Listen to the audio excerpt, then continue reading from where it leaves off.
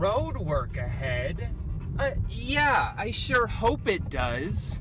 Huh? Shit!